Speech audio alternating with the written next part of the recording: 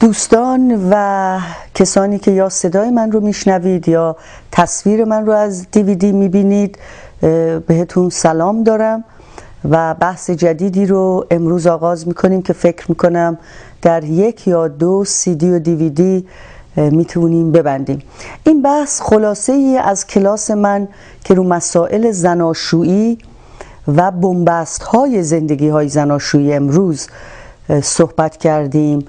و کلاس البته شش جلسه دو ساعت و نیمی بوده که ما این شش جلسه دو ساعت و نیمی رو داریم. در دو ساعت دو ساعت و نیم خدمت شما عرضه می‌کنیم. عنوان این نوار رو گذاشتیم چرا عشق و ازدواج به بنبست رسیده؟ یا مواردی که عشق و ازدواج به بنبست می‌رسه چرا اینقدر شایع شده؟ بگذارید که اول به چند عامل به طور فهرستوار اشاره کنم و بعد به تفسیر و تحلیل اونها بپردازم. به عنوان روانشناسی که سی سال 29 ساله کار می‌کنم اگر بخوام خلاصه یا جدولی یا فهرستی از مواقعی که یک زن و شوهر ارتباطشون به بنبست می‌رسه یا حتی نه زن و شوهر دوست پسر و دختری که با هم مدت ها زندگی می‌کنن روابطشون به بنبست می‌رسه و به خاطر اون به روانشناس مراجعه می‌کنن چند نمونهش رو ارائه بکنم.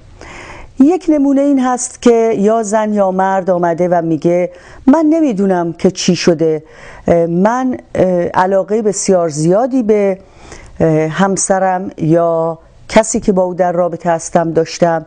ولی کم بعد از مدت ها می‌بینم این اون چیزی که من خیال می‌کردم نبود. و حالا هر وقت که می‌خوام به سمت خونه بیام یا هر کا وقت که می‌خوام با او وقت بگذرونم غم دنیا به دلم میاد. به خودم میگم که چرا باید من تو این زندگی بمونم؟ مگه آدم یک بار بیشتر زندگی می‌کنه؟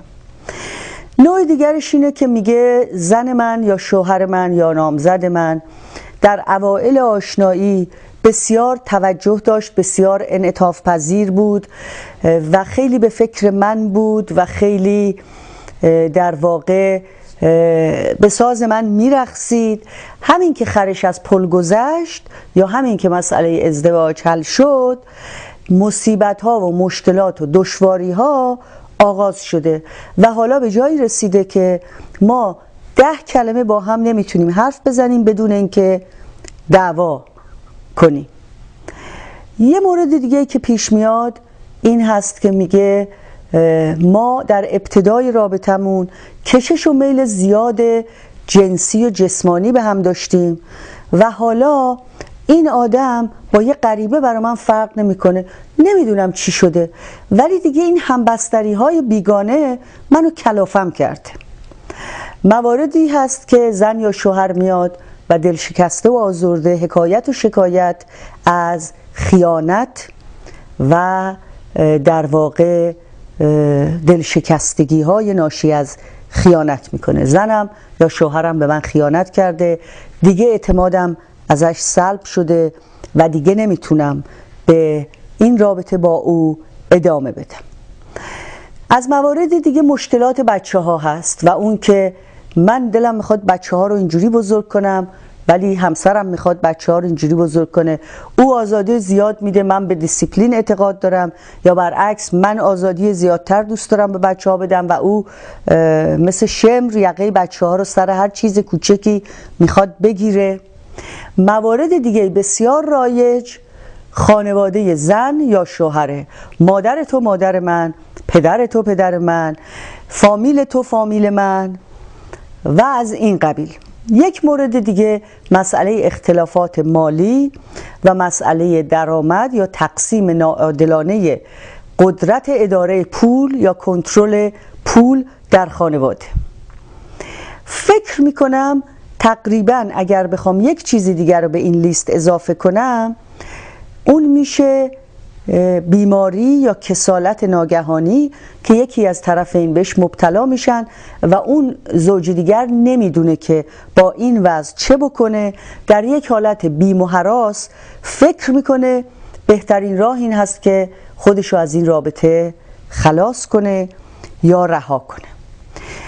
حال وقتی ما به این لیست نگاه می‌کنیم اولین چیزی که به ذهن می‌رسه اینه که مثل اینکه ما یه تصویری از عشق و ازدواج داریم و اون تصویر اینه که ما عاشق میشیم یا ازدواج می‌کنیم که به آرزوهامون برسیم. و اگر به آرزوهامون نرسیم دیگه پس این چه کاری بود ما کردیم؟ چه بلایی بود سر خودمون آوردیم؟ چون زندگی تنها که زندگی بی درد سرتریه. حالا من به عنوان یه آدمی که 35 ساله ازدواج کرده هستم و روانشناس هستم می‌تونم شهادت بدم به این اصل که زندگی تنها خیلی راحت تر از زندگی زناشوییه. یعنی چی؟ و چرا من می‌تونم اینو شهادت بدم؟ چون من هر دوتاشو دارم من در هفته دو سه روز در لس آنجلس زندگی می‌کنم که اونجا تنها هستم و اونجا کار می‌کنم مطب دارم اونجا و یه آپارتمان کوچولویی دارم که شبا میام تو اون آپارتمان کوچولو و روزها هم کار می‌کنم برعکس چهار روز در هفته در همین جایی که دارم با شما صحبت می‌کنم در منزل خانوادگی خودم هستم که با همسرم زندگی می‌کنم گهگاه هم بچه ها به ما ملحق میشن. تردیدی در این ندارم که اون سه روزی که در لس آنجلس هستم خیلی راحتم. یعنی چی؟ یعنی اگر ساعت هشت شب یه مراجعه زنگ می‌زنه و میگه من دلم می‌خواد که الانم بیام تو رو ببینم من بدون دلواپسی از هیچ کس بدون نگرانی از اینکه کسی منتظر منه یه ساعت دیگه هم کار می‌کنم. یا کارم تموم میشه تو مطب دلم می‌خواد کاغذامو تنظیم کنم پرونده هامو بنویسم اتاق کارم رو یه ذره جمع کنم تا یازدم اونجا نشستم. هیچ نگرانی هم ندارم. یه سالاد کوچولو هم ممکنه اونجا داشته باشم بخورم یا یه لقمه نون و پنیری بخورم. این نگرانی هم ندارم. بعدم از اونجا سوار اتومبیل میشم میام وارد خونه میشم که هیچ کس توش نیست. برای آدم خسته که تمام روز کار کرده وارد خونه خالی میشه که نباید با کسی حرف بزنه. میرم ضبطم و روشن می‌کنم آهنگ و ترانه ای رو که خودم دوست دارم می‌ذارم روش و میشینم و گوش میدم. یا یه دوشی می‌گیرم و لباس راحتی میپوشم که باز نباید کسی بپسنده و نه کسی بهش ایراد بگیره. بنابراین بسیار راحت زندگی تنها. پس باید آدم از خودش این سوال کنه که چه مرضی دارم که وارد ازدواج و رابطه میشم. من گفتم زندگی راحته و نگفتم که زندگی لذت بخشه یا یه حالت پر و با معنا و در واقع با محتوا داره.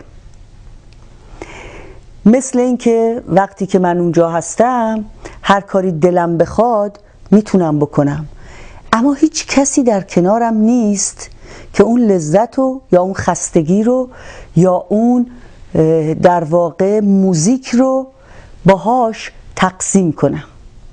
حالا برعکس وقتی که به اینجا میام یعنی به لاگونا میام این آزادی ها رو ندارم. یعنی چی؟ یعنی هفت شب که قرار کارم تموم شه درست هفت و روب شوهرم تلفن می‌زنه که کارت تموم شد چه ساعتی می‌رسی؟ چی می‌خوریم؟ کجا میریم؟ کی میای؟ و معلوم میشه که خب من متعهدم نسبت به یه انسان دیگه که در انتظار منه. و همینطور وقتی که میایم می‌بینیم که باید یه میزی بچینیم رو اون میز باید سلیقه طرف مقابل رو هم رعایت کنیم نوع غذایی که او هم لذت می‌بره رعایت کنیم و غیره. بنابراین هی می‌بینیم می‌بینم که من باید از اون رضایت و اون ارزاع کامل خودم صرف نظر کنم و به ارزا و رضایت کسی دیگری که با من در رابطه هست اهمیت بدم. خب؟ بنابراین به این دلیل خب بله آدم یه کارایی براش سخت میشه. به خصوص که حالا باید چند تا پیرنم بشوره آدم و چند تا پیرنم اتو کنه و نمی‌دونم خونه ای هم که توش نشسته احتیاج به نظم بیشتری داره چون دو نفر ریخت و پاششون بیش از یک نفره یا یه نفر وقتی تنهاست به اون ریخت و پاش اونقدر اهمیت نمیده. خلاصه زندگی مشترک یه دشواری هایی رو داره که زندگی تنها نداره. اما دوباره برمیگردیم به این سوال. پس چرا ازدواج یک نهاد کهنه و قدیمی و همراه با انسانه و این همه جنبه های زندگی متحول شده چرا این سنت دیرینه هنوز خودش رو حفظ کرده؟ و چرا هنوز امروز هم اگر با جوانایی که بسیار مدرن فکر می‌کنن صحبت بکنیم می‌بینیم که یه حراسی از ازدواج های ناجور دارن. ولی در حسرت پیدا کردن جفت جورن بنابراین اون خواسته به جای خودش هست. حالا چرا؟ دلیل بسیار سادش اینه که پاسخ بسیار سادش اینه که انسان یه موجود ارتباطیه. یعنی پیوسته از طریق بودن با یک انسان دیگر حتی خودش رو بهتر تجربه می‌کنه. این اون ارزش رابطه است. حالا اینجا باید برگردیم. دوباره اشاره می‌کنم که همه دنبال پیدا کردن جفت جور خودشون هستن. حالا اینجا سوال مهم اینه که این جفت جور کیه؟ چه کسی جفت جور ماست.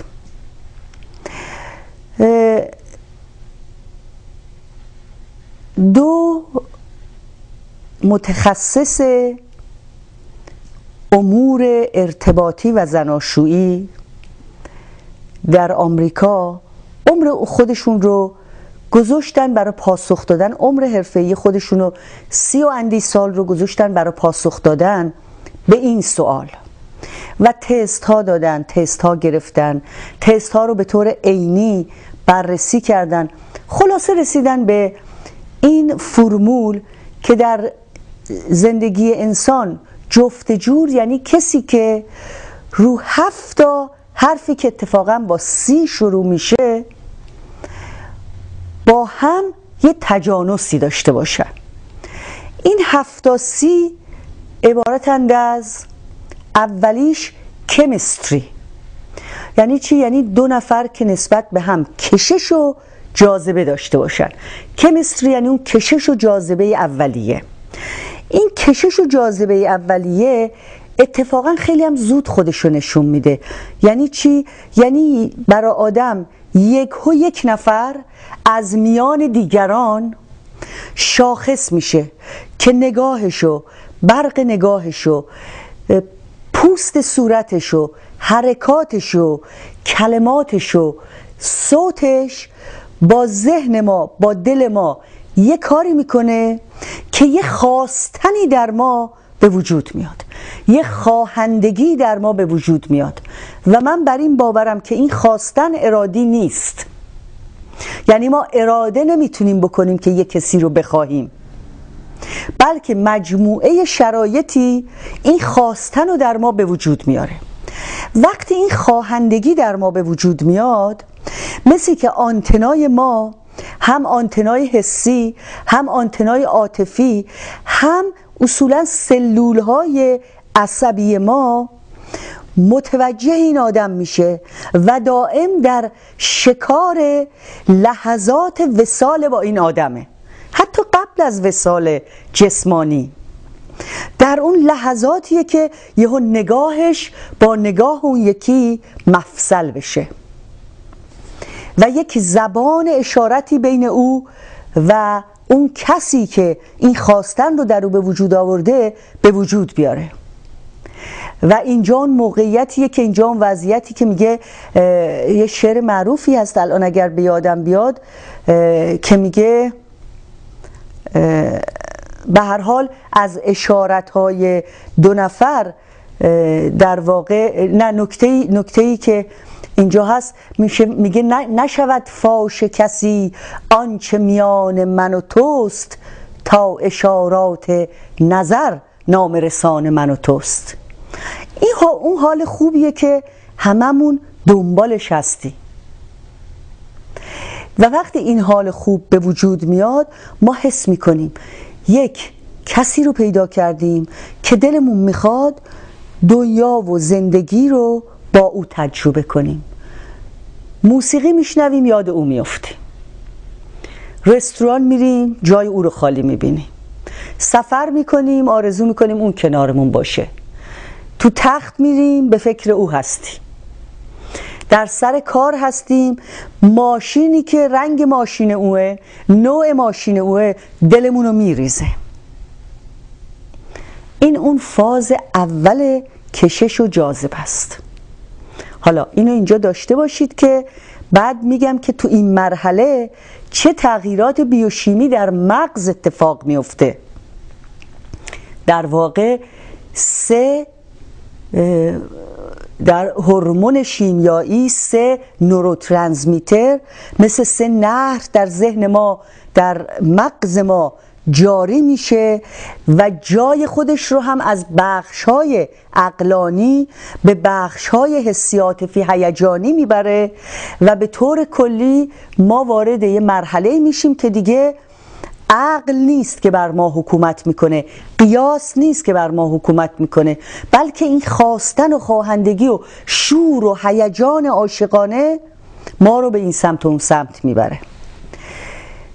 مرحله دیگه بعد از این کمیستری سی دوم عبارتند از کرکتر یعنی منش و شخصیت و اطفاری که در تمام وجود ما رفتار ما اندیشه ما انتخاب ما خواسته ها و ناخواسته های ما رفتارهای ما منعکسه.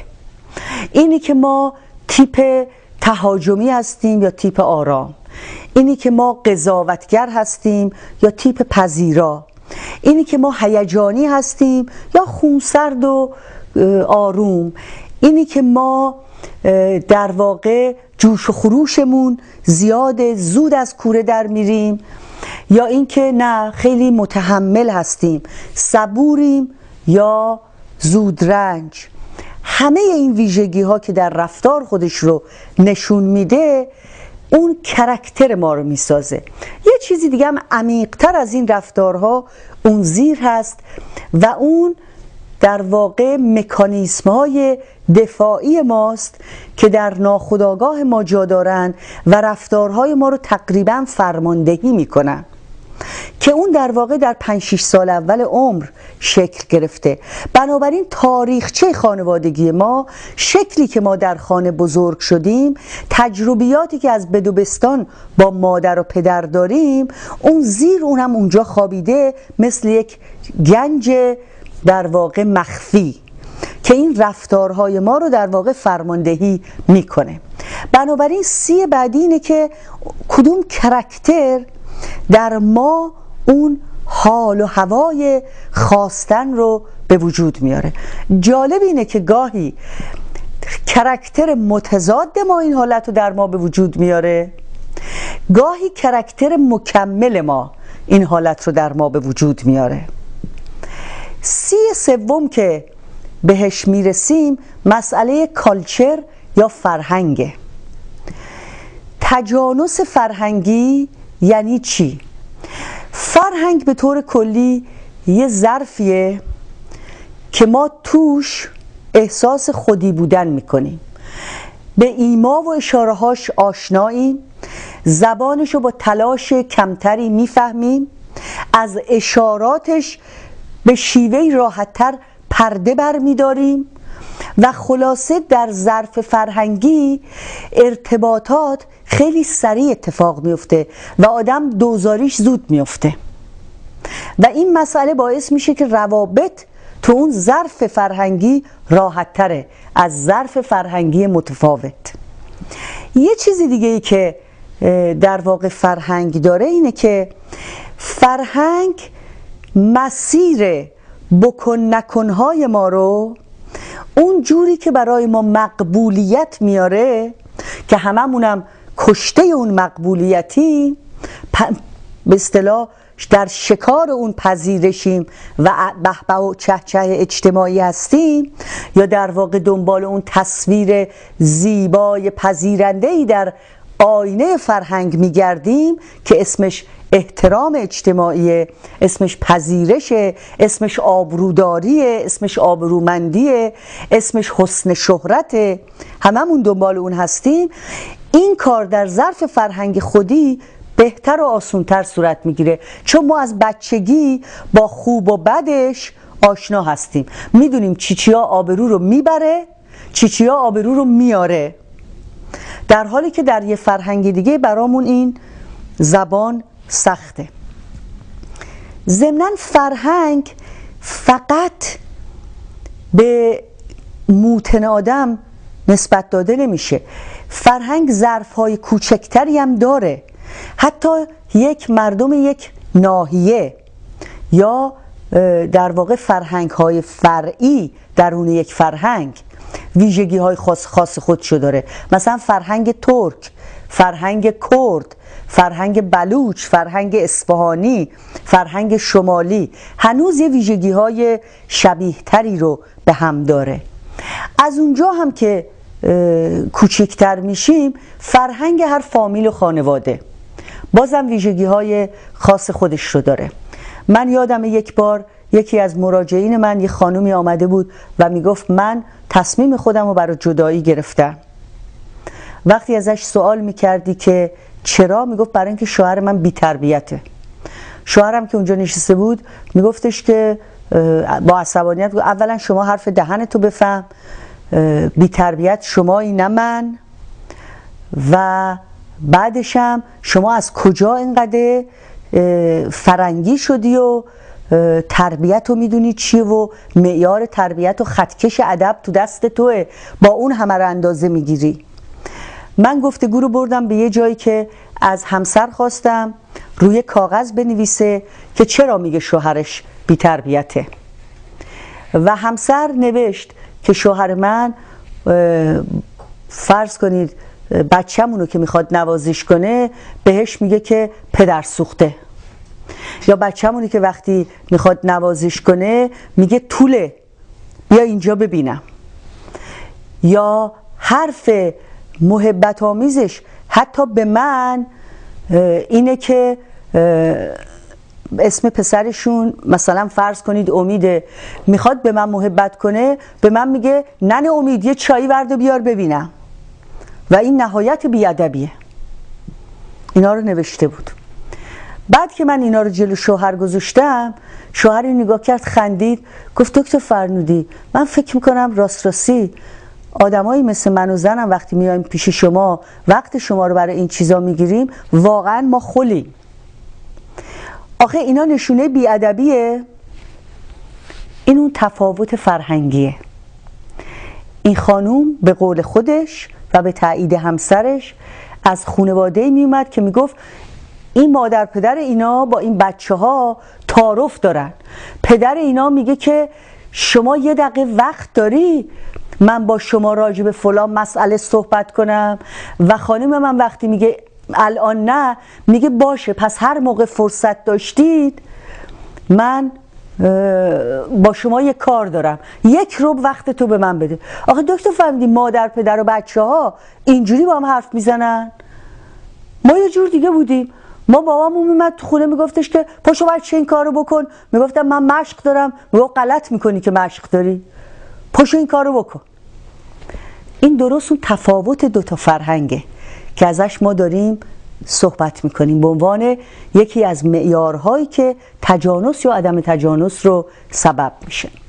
سی دیگری که به این اضافه می‌کنیم مسئله در واقع کامیتمنت یا تعهدمندی نسبت به یک رابطه. باز دوباره از کیسای در واقع واقعی خودم مثال می‌زنم. بگذارید یک جرعه ای از این چای بنوشم. بله. از کیسای عملی خودم مثال می‌زنم. یک زن و شوهری باز شکوه داشتن از اینکه خانوم می‌گفت این مرد اصلا نمی‌دونه موقعی که ازدواج کرد دیگه اون مرد مجردی نیست که هفته یک شب با دوستای مردش برن بازی کنن. هفته یک شب یا یک روز بره فوتبال بازی کنه یا هفته یه ظهر از محل کار با همکاراش برن چلو کبابی یا بعضی موقع ها ماهی یه دفعه حتی گاهی بیشتر با دوستاش جمع برن لاس وگاس. آخه این کجایی یه مردی که زن و بچه داره؟ این شکوه و گلایه همسر بود. و آقا در پاسخ می‌گفت دکتر فرمودی مگه آدم وقتی ازدواج می‌کنه دیگه خودشو چال می‌کنه؟ مگه آزادی های خودشو دفن می‌کنه مگه خواسته ها و چیزای نیازهای قبلی خودش یه شبه از بین میره؟ مگه آدم میمیره وقتی ازدواج می‌کنه؟ خب آدم ازدواج می‌کنه. ولی من سی و هفت سالم بوده ازدواج کردم. تا سی و هفت سال این برنامه زندگیم بوده. الانم خب با خانومم هستم با خانومم سفر می‌کنیم بیشتر شبا خونم. ولی کن اگه همش قرار باشه که من بیام تو خونه بشینم اصلا بیزار میشم از این زندگی. و بعد همسر در برابرش میگه پس اون روزی که تو داشتی ازدواج می‌کردی فقط فکر می‌کردی که نیمه وقت داری زندگی تو با یه زنی تقسیم می‌کنی با بچه ها تقسیم می‌کنی. دوباره وقتی این مثال رو من می‌زنم من به خانوم برمیگردم میگم خب شما فکر می‌کنی که زندگی زناشویی یعنی چی؟ میگه به نظر من من مفهومم از زندگی زناشویی این بود که دو نفر با هم برنامه میریزن دو نفر با هم تفریح می‌کنن. منتظر فرصتن که وقتی کارشون تموم میشه کنار هم بیان تقسیم کار می‌کنن با هم بچه هاشون رو با هم بزرگ می‌کنن معاشرت هاشون با همه. حالا بر فرض اگر یک کاری رو یکی دوست نداره اون یکی دوست داره دو ساعت هم در هفته. بنابراین این دو موجود با دو تعریف جدا از ازدواج دو تعریف متفاوت از ازدواج کنار هم قرار گرفتن. خب؟ این یکی از اون چیزاییه که میزان کامیتمنت یا تعهد رو نسبت به اون رابطه همیشه این رو باید در نظر بگیریم. رابطه نه منم نه تو بلکه هم منم هم تو که حالا ما شده.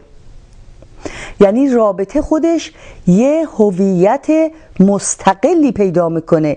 یک موجودیت مستقلی پیدا می‌کنه که دو نفر از اون رابطه یه برداشتی می‌خوان بکنن یه خواسته ای دارن یک توقعی دارن و یک انتظاری دارن و یک هدفی دارن. بنابراین این سی هم عبارت بود از کامیتمنت یکی می‌خواد نسبت به این رابطه 100 درصد کامیتمنت داشته باشه. کامیتمنت هم یعنی تعهد زمانی مکانی جنسی عاطفی حسی مالی اجتماعی خانوادگی. اون یکی مثل که می‌خواد 50 درصد داشته باشه یا 30 درصد داشته باشه یا 70 درصد داشته باشه. باز این خودش فاکتور بسیار مهمیه. C بعدی که باید ازش صحبت کنیم communication style یا اصولا شیوه گفتمان و انتقال مفاهیم و انتقال خواسته ها و اصولا طرح مسائل. هر کی استایلی داره. مثلا فرض کنید یه آقایی هست که وقتی اوضاع زندگی و اوضاع رابطه مثلا شب به سمت همسرش میاد و می‌خواد که با او عشق بازی کنه. و لحظه اولی که دست همسرش رو می‌گیره همسرش میگه که من خیلی خیلی امشب خستم و نمی‌خوام چیزی رو شروع کنم. شبت بخیر عزیزم خدا حافظ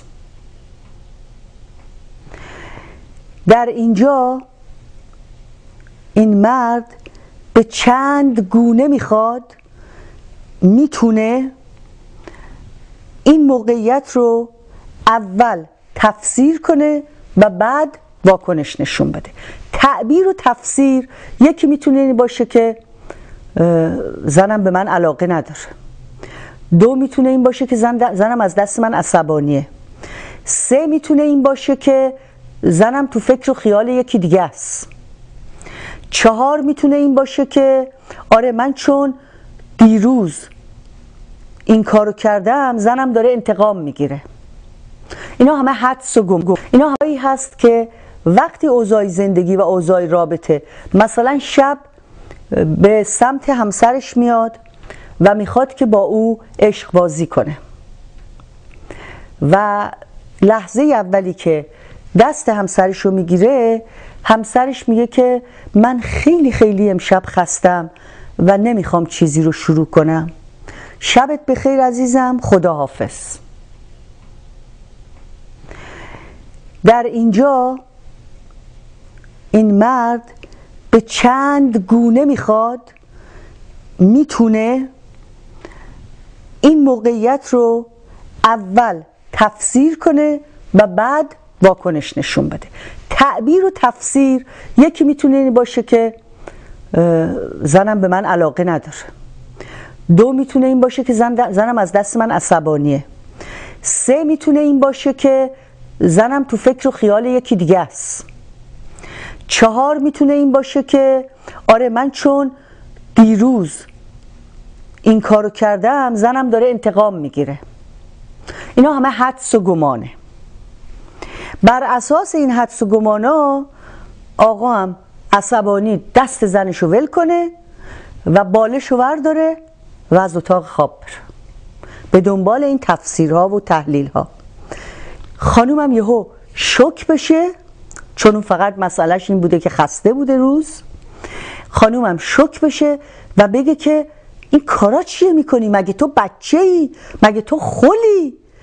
آدم اصلا نمی‌دونه با تو تکلیفش چیه. آقا هم بره تو یکی اتاقو در رو ببنده و فردا صبح بلند شه بدون سلام و خداحافظی صبحونه بره. خانومم شب دیرتر از همیشه بیاد خونه و بره خونه مادرش یا خواهرش یا با دوستش بره سینما. و بعد این ماجرا یه هفته دو هفته طول بکشه تا خدایی بکنه و رحمی بشه و بچه بیاد و فامیلی بیاد و مهمونی دعوت بشن اینا دوباره گفتگویی با هم بکنن. این استایل یه استایلیه که برای یکی ممکنه انقدر آشنا و انقدر در واقع طبیعیه که اصلا فکر کنه کاری جزی نمیشه کرد. حالا من می‌خوام کارهایی که می‌شد از اون ابتدا کرد دونه دونه با هم بررسی کنیم. یک وقتی که خانوم می‌گفت که امشب خستم شوهر حساسیت نشون می‌داد و میگفتش که چی بوده برنامت راستی من هیچ نپرسیدم که امروز چیکارا کردی؟ و در حالی که دست همسرشو هنوز تو دستش نگه میداره ولی تمناهای جنسی خودش رو مهار می‌کنه از او بپرسه که برنامه روز چی بوده؟ و یا همسر ادامه میده یا میگه برا اونم جون حال ندارم. بعد اون وقت هست که همسر می‌تونه کارهای متعددی رو بکنه. البته اینو کسانی که میشنون نگن که این یه کیس ایداله من. دارم همه انتخاباتو می‌تونه بگه که به همسرش می‌تونه بگه که آیا اگر ماساژت بدم خستگیت در میره آیا یک لیوان آب اگر برات بیارم کمکت می‌کنه آیا اگر یه موسیقی آرام برات بذارم خستگیت رفت میشه یا یه حوله گرم خیس برات بیارم که رو پیشونیت بذاری. اینا اون چیزی هست که نشون میده که همسر حرف همسرش رو تعبیر و تفسیر منفی نکرد. و اینجا مشکلی به وجود نمیاد بلکه یک کامیونیکیشن یا ارتباط سالم انجام شد. حالا این شیوه ارتباط و گفتمان که میگیم یا اینکه دو نفر از حال هم خبردار بشن. وقتی که اتفاق نمیفته تعبیر اون شعریه که میگه دل من ز قصه خون شد دل تو خبر ندارد. اون وقت فکر کنید دو نفر با هم زیر سقف زندگی می‌کنن و انقدر سیستم ارتباطیشون آفه. مثل اینکه ببین ارتباط یعنی الان من و شما با هم ارتباط داریم. من فرستندم شما گیرنده اید در این لحظه دوربین و میکروفون گیرنده است. در لحظه ای که شما دارید گوش می‌دید شما گیرنده اید و این دوربین و این ضبط وسیله بود بین فرستنده و گیرنده. اگر فرستنده خراب باشه این ارتباط صورت نمی‌گیره. اگر گیرنده خراب باشه این ارتباط صورت نمی‌گیره. اگر وسیله ای که داره این فرستندگی و گیرندگی رو فراهم می‌کنه اشکال داشته باشه باز پیام درست فرستاده نمیشه. بنابراین در هر ارتباطی یک فرستنده وجود داره یک گیرنده وجود داره یک پیام وجود داره یک کانالی که پیام ازش عبور می‌کنه. درست در ارتباطات زناشویی هم همینطوره. وقتی یه زن و شوهری گیرنده فرستندگیشون خرابه و در نتیجه پیامی هم که انتخاب می‌کنن غلطه نادرسته و سپس چیزی رو که می‌خوان منتقل کنن درست صورت نمی‌گیره مشکل ارتباطی. حالا ممکنه بگید این گیرندگی و فرستندگی چجوری درست میشه چجوری خراب؟ معمولا این استایلیه که ما از بچگی از اون لحظات اول کودکی که دست و پا می‌زنیم به مادرمون حالی کنیم چی می‌خوایم و چه در ما میگذره. اگر گیرنده که مادر حساس و علاقمند و گرم و حامی و صبور و حاضر در فاصله به فاصله مطلوب با ما قرار داشته باشه اون وقت ما کم کم پیامامون همون جوری که دلمون می‌خواد بدون اینکه فیلتر کنیم از هیچی عبور بدیم منتقل می‌کنیم و مادر مثل یه مدیریه که ما رو کوچ می‌کنه به تدریج و ما به یه جایی می‌رسیم که می‌فهمیم بدون اینکه ترس داشته باشیم واهمه داشته باشیم دلهوره داشته باشیم بخوایم اینو بگم اونو نگم اینو کنترل کنم اینو سانسور کنم حرفامونو در اون فضای امن پیام هامونو میفرسیم و اون گیرنده در اثر حساسیت خودش فرستندگی ما رو هم حساس می‌کنه. و برعکس اگر در اون دوران اولیه خشونت و قضاوت و ملامت و تحقیر و مقایسه و موعظه و سردی و غیبت و همه اینا یا توقع بسیار زیاد همه اینا باعث بشه که ما ندونیم چی بگیم کی بگیم چگونه بگیم که گربه شاخمون نزنه ما فرستندگیمون گرفتار دشواری میشه. بنابراین این ارتباط و استایل و شیوه ارتباط چیزیه که ما از بچگی با خودمون درست کردیم و بعد به روابط بزرگسالیمون یا به ازدواج میاریم. تجانس بین اینام خیلی اهمیت داره. مثلا بچه ای که از بچگی دیده که هر وقت تو خونه یه چیزی مطابق میل بابا نیست بابا بشقاب پرت می‌کنه بعدم قر می‌کنه یا مادر جیغ می‌زنه خود کتک می‌زنه این فکر می‌کنه شیوه روبرو شدن با دشواری ها همینه. یا به قول اینجا یا اوور ریاکت می‌کنه. سی بعدی هست conflict resolution skill. Conflict resolution skill یعنی چی؟ یعنی طریقی که ما بحران ها رو حل می‌کنیم. یا باهاش کنار میان. اگر زن و شوهری به شما گفتند از روز نخست تا اون لحظه ای که زیر سقف زناشویی دوام آوردند. گرفتار تعارض و ماجرا و بحران نبودند شما بهشون جایزه دروغگویی بدید. چون همچی چیزی امکان نداره. ولی اینکه ما با مشکل و بحران و کانفلیکت چه می‌کنیم بسیار بسیار اهمیت داره. چگونه حلش می‌کنیم بسیار بسیار اهمیت داره. شیوه های رایج اینه که یا یه نفر فکر می‌کنه حل مسئله در دست منه به بقیه اعضای خانواده میگه برو کنار. که اون شخصیت های یا اینکه یا به بقیه داره میگه عقل شما نمی‌رسه. وایسین تا من حل کنم بعد شما بیاین بشینین سر سفره حل شده مشکل. که این کاری که می‌کنه اینه که کنترلر یا این رهبر یا فرمانده خانواده رو از بقیه جدا می‌کنه بعد از یه طرف رو خودش فشار میاد خسته میشه ناله می‌کنه بعد به اینا میگه که شما به درد هیچی هستین به درد هیچی نمی‌خورین. حیف نون من چه بیچاره ای شدم چه زن و بچه های من ارزه هیچ کاری رو ندارن و شروع می‌کنه اونا رو ملامت کردن. یا اینکه وقتی یه مشکلی پیش میاد شورای خانواده رو همسر و فرزندان رو مینشونه سر یک میز و میگه بیا عقلمون رو بذاریم رو هم ببینیم با این مسئله چه باید بکنیم و تصمیمی که برای حل مسئله گرفته میشه چون تصمیم جمعی هست در نتیجه همه نسبت بهش مقداری مسئولیت دارن یا احساس مسئولیت می‌کنن.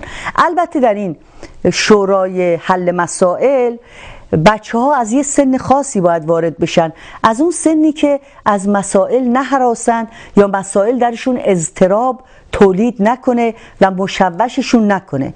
بنابراین به نسبت بنیه و قوه در واقع عاطفی و بلوغ بچه ها اونها مشارکت می‌کنن در حل مسائل. به طور کلی چند شیوه رایج هست. حمله به مسئله به طور ناگهانی که معمولا مسائل بیشتری رو ایجاد می‌کنه. کنار گذاشتن مسئله و به روی خود نیاوردن یا به قول اینجایی ها زیر فرش کردن انگار نه انگار.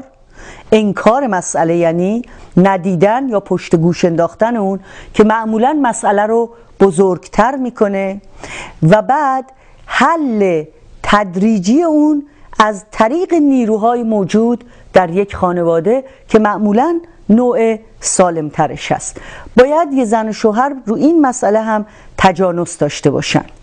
یک سی دیگه که فکر می‌کنم سی آخری باشه هست compatibility.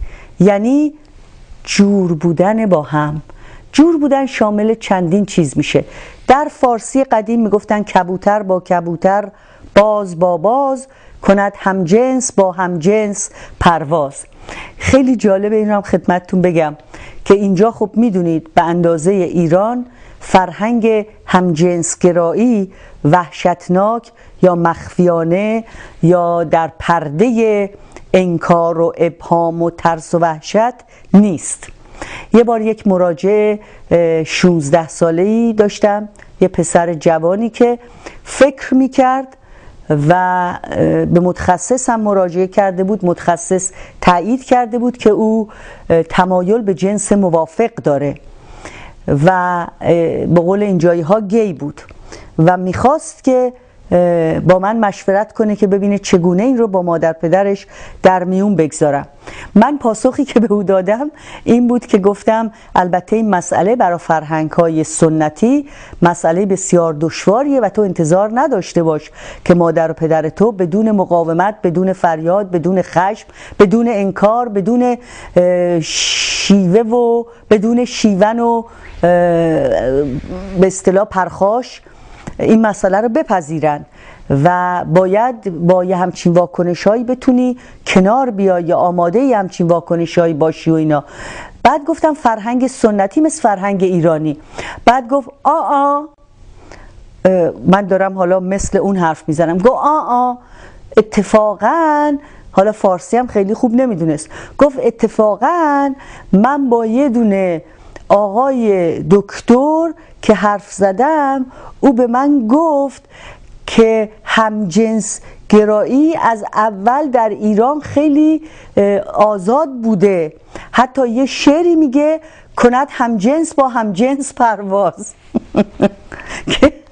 که این البته تفسیر در واقع ناروایی بود از این شعر.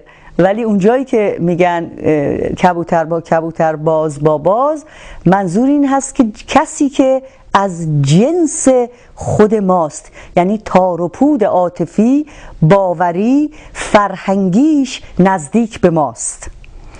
و مثال دیگری که در فارسی می‌زدن اون موقع ها وقتی مثلا یه پسری می‌رفت اون موقع که دختر حق نداشت تو ایران عاشق بشه البته نه اینکه نمی شدیم می شدیم منتها یه مقداری پنهانکاری می کردیم ولی خب پسرها خیلی مجبور نبودن پنهانکاری کنن. یه پسری می‌رفت و عاشق می شد و می اومده به مادر پدرش حرف می‌زد. بعد مادر پدر می‌رفتن یه تحقیق می‌کردن و می اومدن می‌گفتن که مادر اصلا خودتو از این موضوع منصرف کن. چرا؟ این دختری رو که تو میگی وصله تن ما نیست. یا لقمه گلوی ما نیست. همه اینا حکایت از یک خرد در واقع قدیمی در سرزمین ما می‌کنه که به جور بودن و هم افق بودن فکر و هم افق بودن اندیشه و در واقع اهداف مشترک داشتن و وصله تن هم بودن ناجور نبودن به اصطلاح اهمیت داده می‌شد.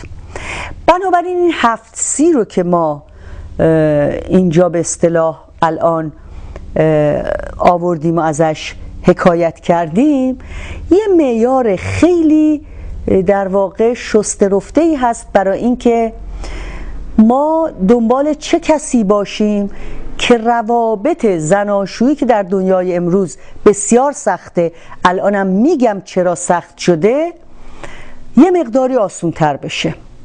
این هفت سی رو شما باید قادر باشی از یک تا ده اگر نمره گذاری می‌کنی همش از پنج بیشتر نمره بیاره.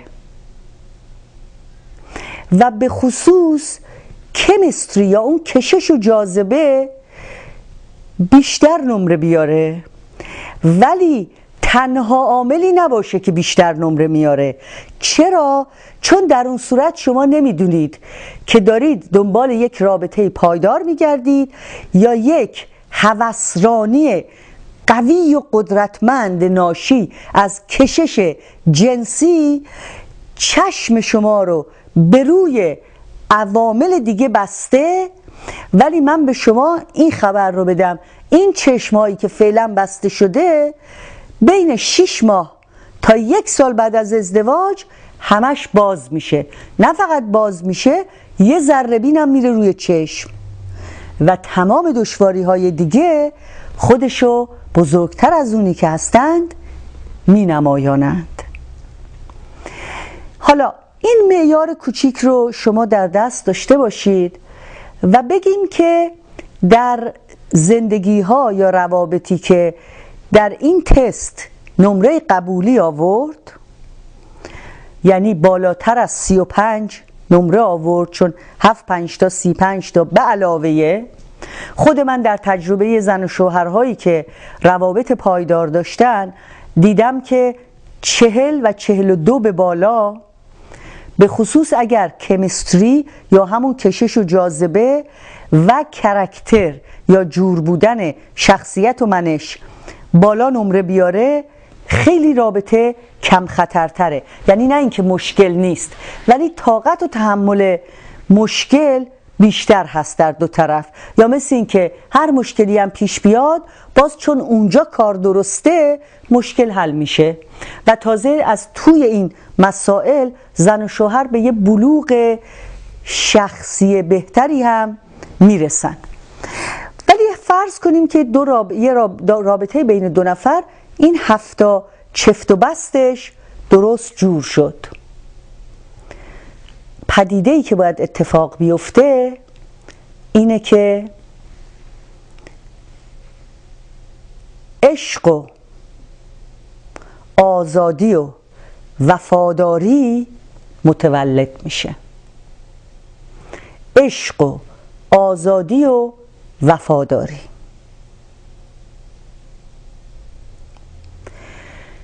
عشق هیچ وقت آزادی رو نباید بگیره. بنابراین هر جایی که به نام عشق جنایتی به نام حسادت کنترل مالکیت انحصار طلبی اتفاق افتاد بدونید که این عشق نیست بلکه یک چسبندگی عصبی بلکه یک وابستگی ناشی از ترس و فقدانه و بدونید که یک در واقع دلبندی بدون گذر از مراحل سالم دلبندی.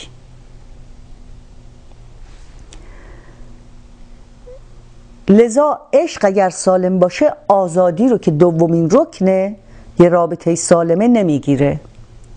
یعنی دو نفر برای هم اون آزادی رو قائل هستند که فرد نمی‌توانه ازش سوء استفاده کنه و چون نمی‌توانه از این آزادی سوء استفاده کنه وفاداری هم متولد میشه.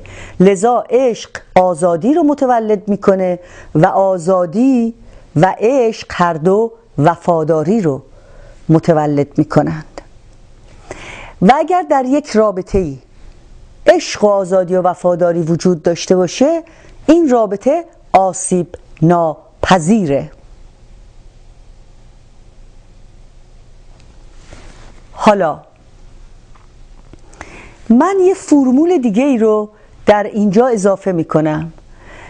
میگم علت اینکه این رابطه آسیب ناپذیر میشه برای اینه که یه موجود دیگری این وسط متولد میشه. اون موجود دیگری که متولد میشه من اسمشو گذاشتم ریسک. R I S K منتها حالا این ریسکو من حروفشو چون اینجا من در آمریکا تدریس می‌کردم این کورس رو این کلمات رو به انگلیسی متولد کرد سپکت یا احترام. که در روابط زناشویی سالم احترام به دو طرف و احترام به خواسته هم متولد میشه. آیشو بذارید برای interdependence یعنی همبستگی. همبستگی با وابستگی و چسبندگی فرق داره. همبستگی یعنی اون رشد مشترکی که هر دو نفر درش فضایی با معناتر فضایی امن‌تر از فضای فردی خودشون تجربه می‌کنن. یعنی اون جایی که آدم راحت تر از پوست تنهای خودشه جلد تنهای خودشه. اینو interdependence میگیم. می‌رسیم به S ش S شو من می‌ذارم برا سه تا کلمه دیگه. یکی satisfaction یا رضامندی. زوج خوب هم رو راضی نگه میدارند. جسمن ظاهرا. از نظر تغذیه از نظر زیبایی و جلوه های ظاهری از نظر دلبری برای همدیگه از نظر خریدن هدیه اینجا و اونجا از نظر گفتن یک شعر به موقع دادن یک شاخه گل به موقع اندیشیدن به همدیگه. satisfaction رضامندی. زوج خوب منتظرن اندیشناکن. به اینکه آیا همسرم راضی است از من یا نه. پس این S اول یعنی ریسک من کلمه ریسک من سه تا S داره. یا S ش لکنت پیدا کرده سه بار تکرار میشه. S اولش satisfaction یا رضامندی. S دومش safety safety امنیت. safety security امنیت یعنی چی؟ روابط امن یعنی چی؟ من و شما کجا احساس امنیت می‌کنیم؟ اون جایی که می‌توانیم خودمان باشیم اون جایی که نقاب نمودها رو راحت به زمین میندازیم اون جایی که رلی بازی نمی کنیم اون جایی که بود و نمودمون یکی میشه. چرا آدم در کنار فامیل راحت تره تا کنار مردمی که او رو می‌شناسن؟ چون اونو از بچگی زیر و روی آدم و کم و زیاد آدم و می‌دونن. آدم دیگه پیش اونا رول بازی نمی‌کنه. یا امیدوارم بازی نمی‌کنه. این رابطه این عامل اسمش هست سیفتی و سکیوریتی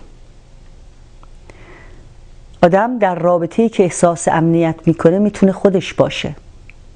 و تمام عمر ما در جستجوی اویی هستیم که برای خود بودن ما مجوز صادر کنه.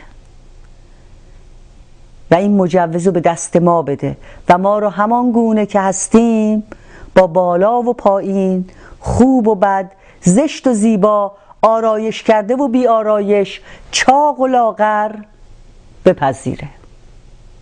ناخوش و سالم بپذیره. اینم S دوم بود. S سومش بود S سومش هست در واقع لغت soul در اینجا به معنی روحه و لغت spirit هم به معنی روحه. یک ویژگی هست که در روانشناسی بهش میگن spiritedness یا spiritfulness یا میگن فلانی spiritful ه یعنی لغت فارسی که من می‌تونم اینجا بذارم برای spiritedness برای spiritedness هست روحمندی. فولنس هست روحمندی. فرق آدم روحمند با آدم بیروح مثل فرق گل مصنوعی با این گل طبیعی. گل طبیعی با گل مصنوعی گاهی انقدر شبیهن که آدم باید بره جلو دست بزنه و ببینه این گل طبیعی نیست. ولی گل مصنوعی یک چیز از گل طبیعی کم داره و اون روحه. در رابطه زناشویی در ارتباطات بین دو انسان یا این روح برای دو نفر این روحمندی برای دو نفر حفظ میشه یا برعکس از بین میره و چشمها حالت خودش رو از دست میده. چهره نشون میده که انسان روح خودش رو زیر این سقف باخته. حالا بنابراین ریسک R ش شد احترام I ش شد interdependence یا همبستگی و دلبندی. S ش شد سه تا.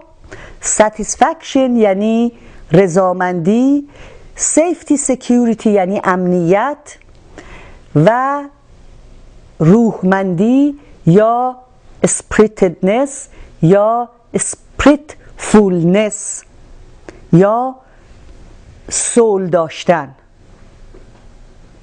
یا روحمندی. حالا مونده یه لغتش یعنی یه حرفش و اونم کی آخرشه. کی اینجا به معنی کایندنسه یا مهربانی. هیچ چیزی به اندازه مهربانی در روابط زناشویی زامن حفظ رابطه نیست. با هم مهربان بودن. مهربان بودن یعنی چی؟ یعنی وقتی که من اون آدم رو می‌خوام بیازارم انقدر آزار اون آدم منو آزار میده که خود به خود مهرم بر خشمم مسلط میشه. این شعر مال حافظه. میگه صبحدم بلبلی با نوگل برخواسته گفت ناز کم کن که در این باغ بسی چون تو شکفت. خلاصه خیلی افاده نیاد تو این باقی که می‌بینی هر روز دنگه تو یه گل قنچه باز میشه. گل بخندید که از راست نرنجیم. ولی هیچ عاشق سخن سخت به معشوقه نگفت. لحظه که ما دیگران رو میکوبیم تحقیر می‌کنیم ملامت می‌کنیم درشتگویی می‌کنیم پایینش میاریم امتیازاتش رو ازش می‌گیریم. باید بدونیم که ما نسبت به او مهربان نیستیم. اگر این کار رو از روی خشم می‌کنیم باید بر خشممون مسلط بشیم. اگر چیزی که بهش عادت کردیم و بعد پشیمان میشیم باید ترک عادت کنیم. باز دوباره این شعر از حافظه. از خلاف آمد عادت به طلب کام که من کسب جمعیت از آن زلف پریشان کردم. همیشه در تونل عادت ها زندگی کردن نه علاوه بر اینکه امتیاز نیست خطرناکه. به قول سهراب سپهری زندگی چیزی نیست که سر تاغچه عادت از یاد من و تو برود. زندگی آبتنی کردن در حوزچه اکنون است. تو در همون لحظه ای که داری بیمهری می‌کنی باید بدونی چه تأثیری داری بر این موجودی که سقف تو باهاش تقسیم کردی. جسمتون رو با هم تقسیم کردین. آیندهتون رو به هم گره زدین. هدفهاتون رو به هم گره زدین. موجودی رو به وجود آوردین که مجموعه است از بیولوژی از